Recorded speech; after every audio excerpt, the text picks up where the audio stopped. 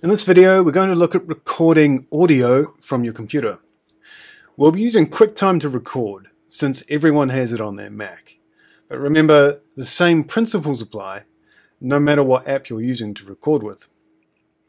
If you haven't done so already, it's worth your time to learn about SWB Audio Capture, and that's the virtual audio driver used by SWB Audio app. Uh, it's the bit that makes recording of audio possible. So you can do that here.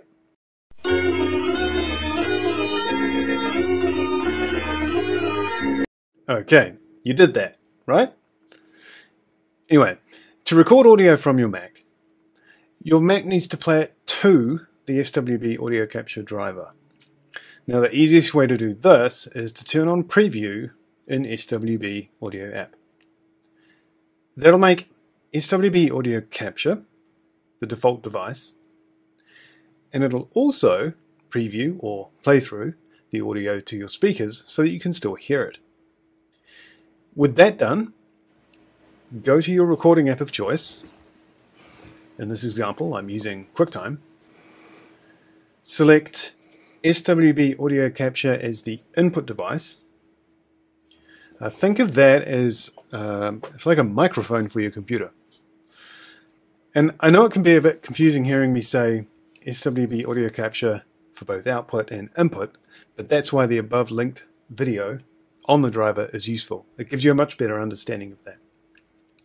Okay, so here I'm going to play some random music from YouTube so that you can hear it, and then with QuickTime, I'm going to press record.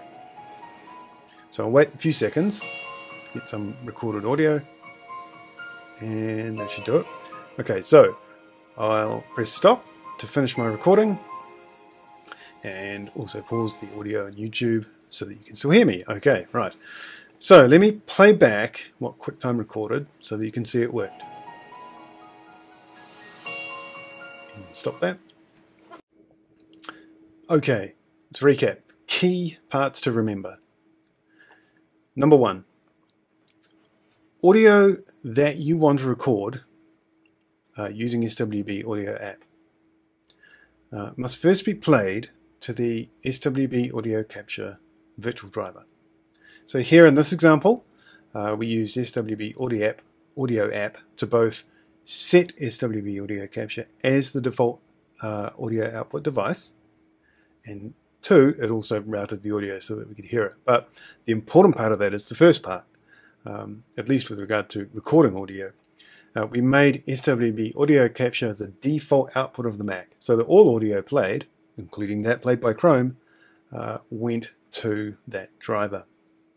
Second, in the app of choice, you know, whatever app you're using to record, um, we selected SWB Audio Capture uh, as the input device. And that was the part where I said, you know, sort of like a microphone. So um, that's all you need to do if it's the same principle, whether or not you're using OBS, uh, Audacity, GarageBand, it doesn't matter. As long as you have all audio going to the driver and you're using the driver as input, um, then you'll be good to go.